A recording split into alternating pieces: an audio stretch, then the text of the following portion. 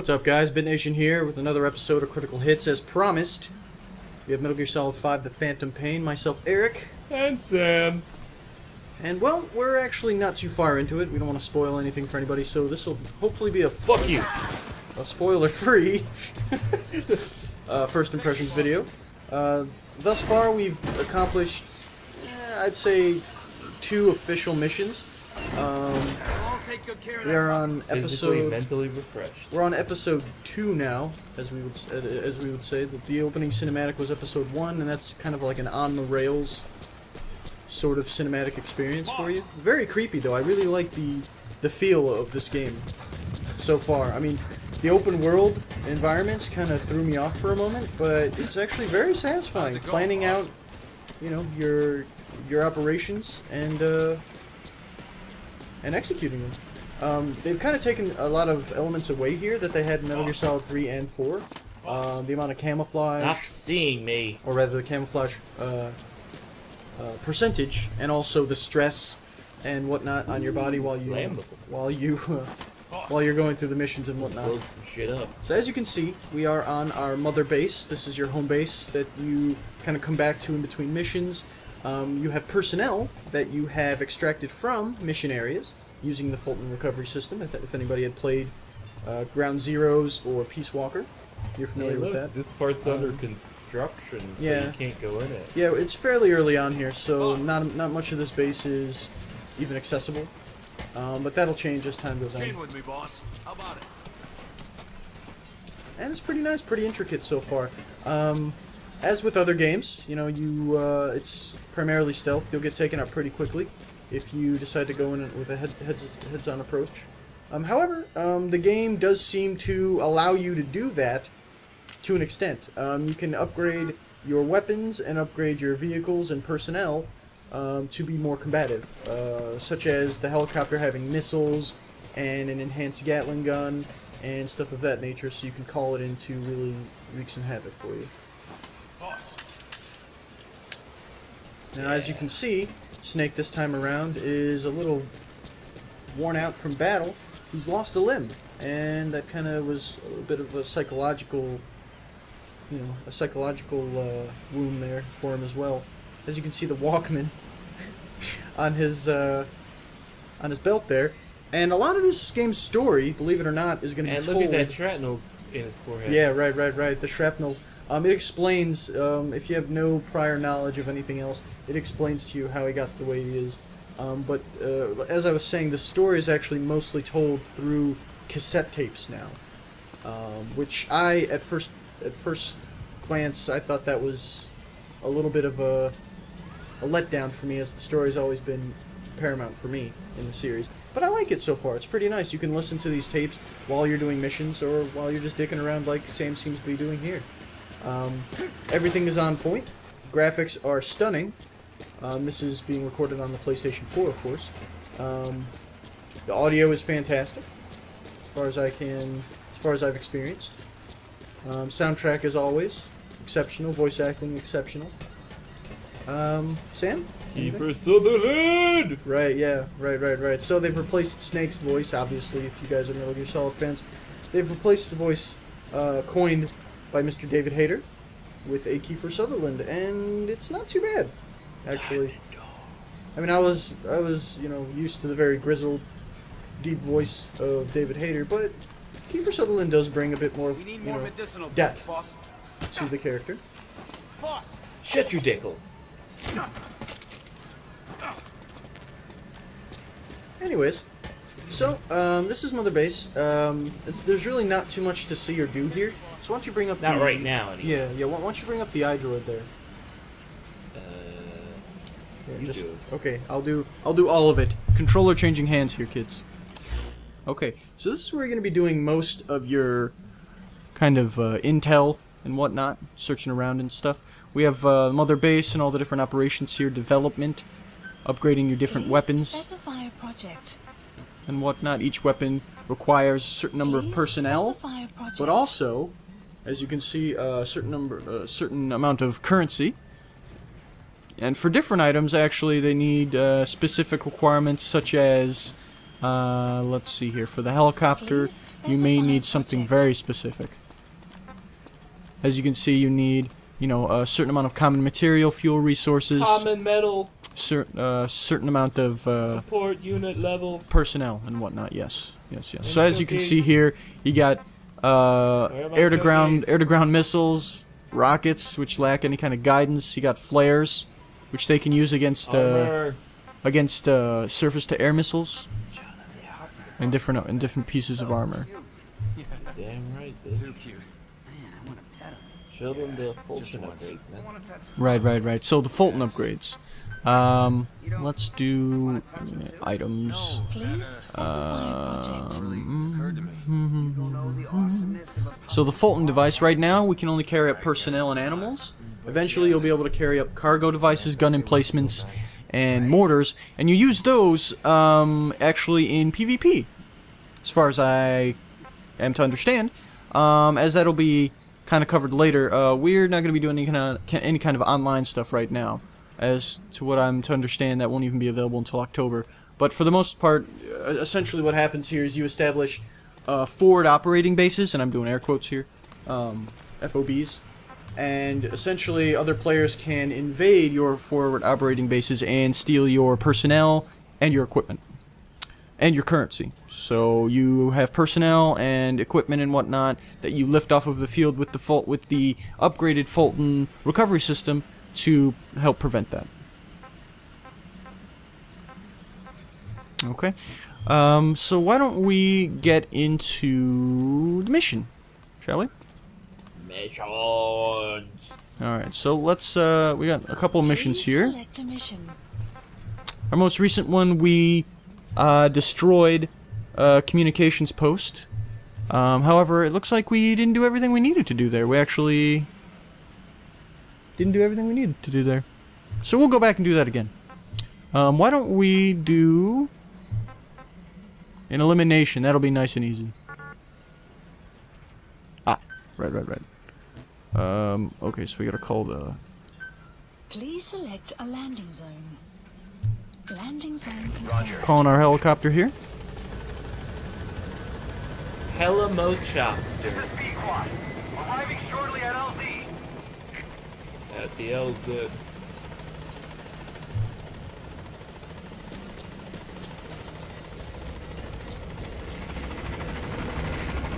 There we are. Oh, and also, um, you can upgrade your helicopter to arrive way, way quicker. In case you have some kind of problems that you're dealing with. Alright, and here we go. Let's go. Aha.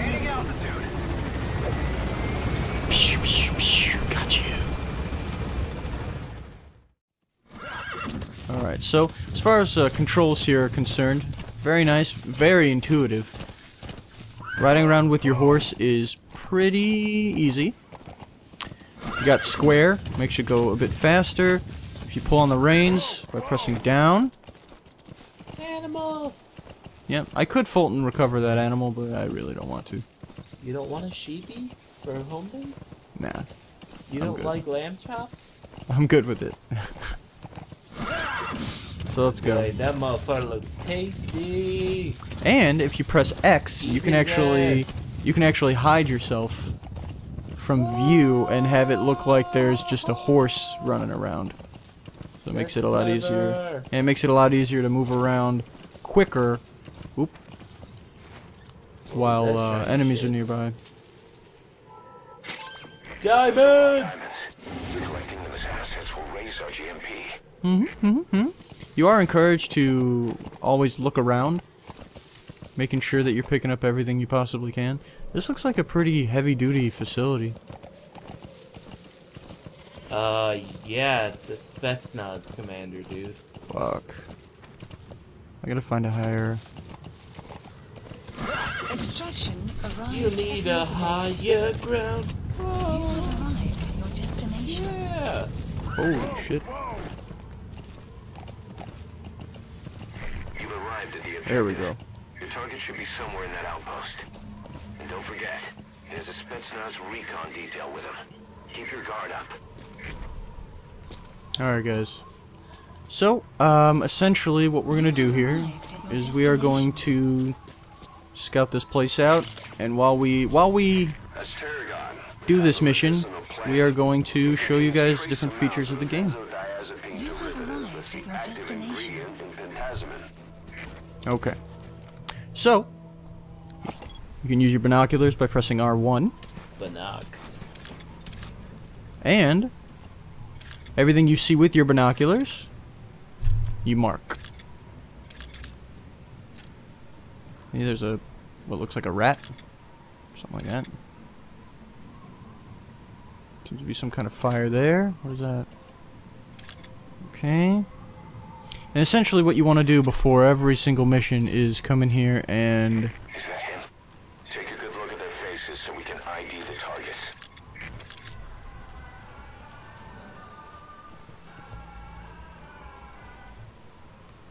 What was I saying? You gotta make sure that you mark everyone that you can possibly mark. And so that way, it keeps them marked as you're moving, and you're able to see where everyone is and not get ambushed. Hopefully. Yeah. You can always miss people. Yeah, that's very true. That's why you gotta make sure you get like a very, very high vantage point and look around as much as you can. But this game is pretty great, guys. It's I mean, it's a AAA title and it's priced appropriately, but I would pay for it. Not even taking into account my previous history with the game series. Oh, you see the guy there?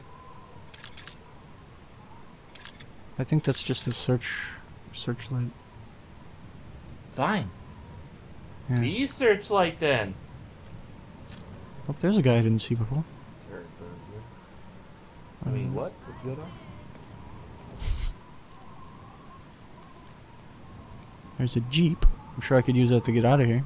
Well, eventually you can start airlifting other stuff, like you said, once you get those Fulton upgrades, like take their weapon emplacements, like you said, you know, supply containers, and I'm assuming you could take those vehicles too. Maybe. It looks like they're changing guard shifts. That's another thing too. These these games have gotten super sophisticated. I mean, Metal Gear Solid 4 was nothing to sneeze at, but uh, this has gotten this has taken it to the nth degree. Everything is there's a meticulous amount of detail with absolutely everything. And that guy turned on a fucking searchlight like an asshole. He's a recon guy, man. Man. They're all reconning it up with their recons, and That's the sturdiest building in the area. It'd be perfect for the target to hole up in. what? Oh, I guess it just gave me intel on this building.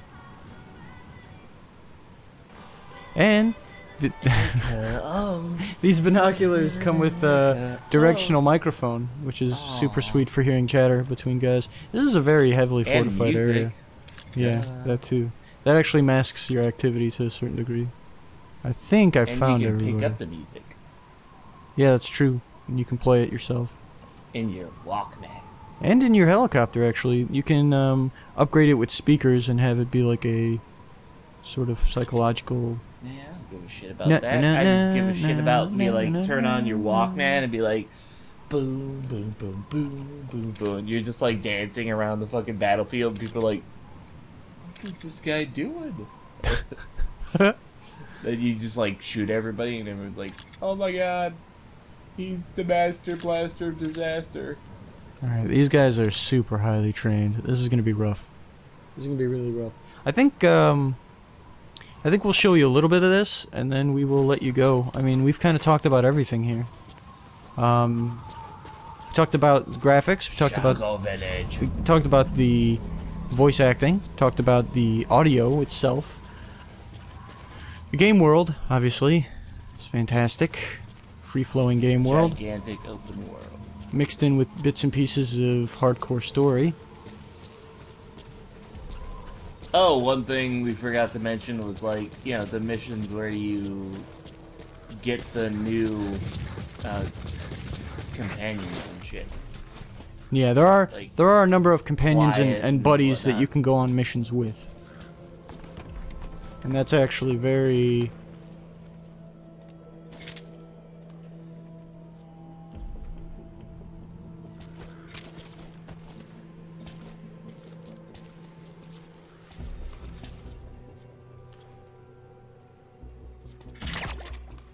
Dude, not really smoking. might be very cigarette. helpful. Um, I mean, Quiet acts as a sort of sniper as far as I've seen, but I'm sure you can have other other companions out here.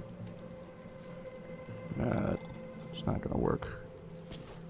I'll leave him up. I'll leave. I'll leave him alone.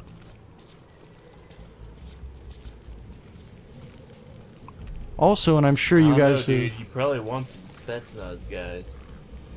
Yeah, I suppose. Well, I think those those guys in the inner keep are Spetsnaz. I think these guys out here are just me. But I can I can grab them, I guess. ass. No, I can grab them. That's fine. He's got a radio. Radio and shit. dude! Fuck yeah, man. He well, all of them are radio dudes.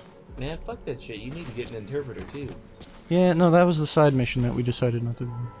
You decided. I told you to do the fucking side mission. I asked you and you were like, "No, dude, we're cool." No. So, That's a bold-faced hooker lie. From your bold-faced hooker mouth. and there you go. That's how you Fulton recover somebody. Subject on board. Leave the rest to us. And I believe I've gotten everybody here. Gotta be very careful. Very that careful. guy got on that spotlight and was like, I am not leaving the spotlight. Yeah. Almost as if somebody told them you were coming. Yeah. Let's let's start with the conspiracy theories here. Right. so let's try and see what might be the best way to get in here.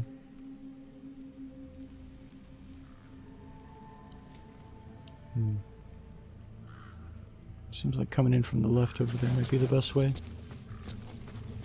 Again, open world, super stealth. You know, you could just like, if you were so inclined, run in there, guns a blazing, and fucking shoot everybody's dick hole off. Or you can, you know, do the sneaky McSneakatron. Mm-hmm. It's really however you'd like to play. However, I'm sure that it's a lot more difficult to run and gun.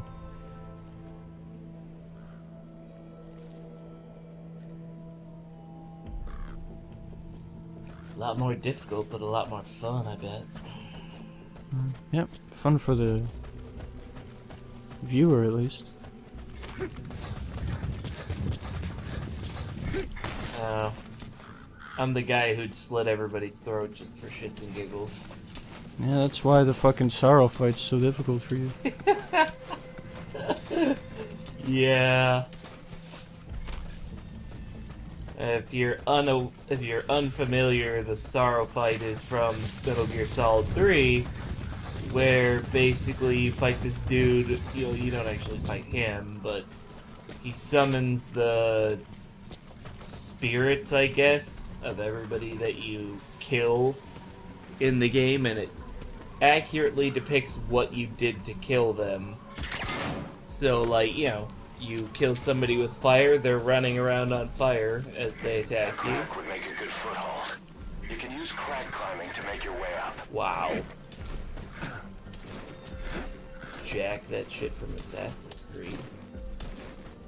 Um, and in a in a Metal Gear Solid 3, I had a let's just say obsession with slashing the throats of literally everybody I could get my hands on. Uh, you know, so once I got to the end of the game, He's coming too. that was pretty fucking difficult. But, you know, Captain Stealthomatron over here, he got to the end of the game and there's like maybe one or two guys. And then, of course, the bosses. Well, if you kill them, which I did, I think he tranked all of them. Now, as you can see, they go to sleep of of their own accord here. They they do what they want whenever they want to do it. It's not something that's kind of like, oh, they're waiting for you or they're waiting for a certain, you know, a certain preset thing to happen. It's not the case. This is actually just really nice, and it really just allows you to do whatever the fuck you want to do, which is incredible to me. But I think that's all it will show you um, here. Um, the game is currently $59.99, or your regional equivalent, basically everywhere. Um, it literally just came out. Like, yeah, yeah, it came out a couple weeks ago. yeah. So, final thoughts, Mr. Sam?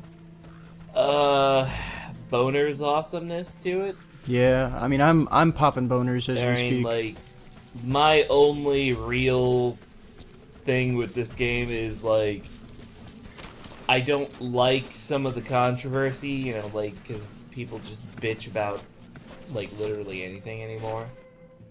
And uh, oh yeah, we forgot to show you that stealthed it up. Like you, know, you when you're crowd or when you're it prone, you could just like lie down fully. mm-hmm. And uh, oh, another thing we forgot to mention: the smoking the cigars to pass time. That's true. Yeah, I mean, I, I haven't really done that yet. I haven't really found a need to do that yet. However, I'm sure later on you'll want to do stuff at night rather than, you know, in the day. Yeah. But uh, the back to my point, it's like you know, everybody takes whatever reason they can to bitch and moan about some game doing this that. Like in this game, one of the big controversies was with like quiet, like being just naked and never talk. You know, not naked, but like barely wearing anything and always, uh, you know, all the time and never talking. You know, it's just like, who cares? I mean, why do we have to bitch about that? I mean, why does that have to be a thing? Subject on board. You know, it, it's just uh, that's one of those things that irritates me. But you know, obviously, you're gonna find that in pretty much every game these days. Somebody's got to find something to bitch about.